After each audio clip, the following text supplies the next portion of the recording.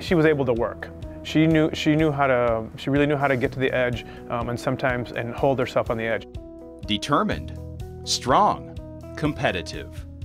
Amber Druien White challenged her body and mind during her time at North Central College to build a successful career in cross country and track and field.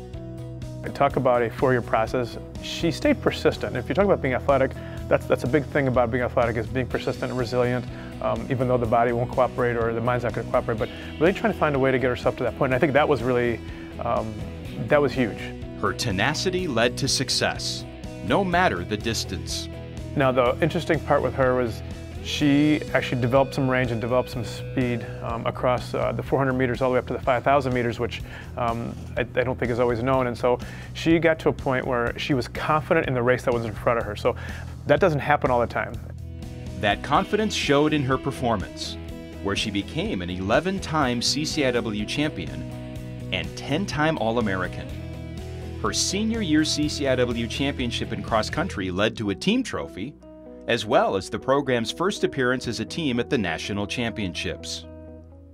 And she still holds records in the outdoor 800 and 1500 and indoor 800 and mile.